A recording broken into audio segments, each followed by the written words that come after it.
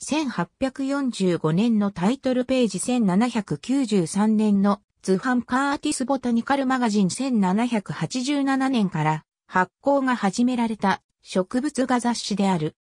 1782年に第一巻が園芸及び植物学の雑誌として薬剤師でキューガーデンで働いていたウィリアム・カーティスが創刊した。カーティスはそれまでに売れ行きは悪かったが、その豪華さで評判になったロンドンの植物を出版していた。カーティスボタニカルマガジンは、より手軽な8折版で読者に提供された。最初、図版は手彩色された銅版画で、花の断面図も添えられ、1ページ、または2ページの花の性質、歴史、生育の特徴や一般的な名称などを解説した文章が添えられた。初期の植物画は大部分をシデナム・エドワーズが描いたが、カーティスの没後、編集を引き継いだ、ジョン・シムとズ・エドワーズは対立し、エドワーズは自ら植物雑誌、ボタニカル・レジスターの発刊した。最初の30巻までは、銅版画が用いられ、手彩式を加えるために、最大30人の作業者が雇われた。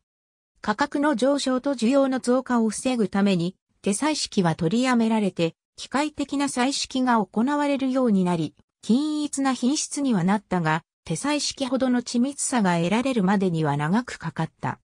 1800年までに13巻までを編集したウィリアム・カーティスが没すると、友人のジョン・シムズが1801年から1807年まで編集を行った。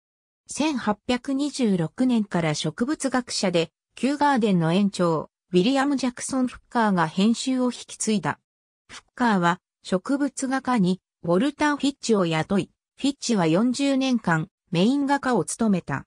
ジョセフ・ダルトン・フッカーが父親の後、1865年にキューガーデンの園長を継ぎ、ボタニカルマガジンの編集を引き継いだ。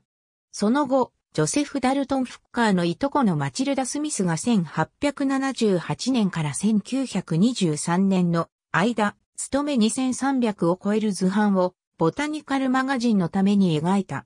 この貢献などによりスミスは、女性として二人目のロンドン倫理協会の会員に選ばれた。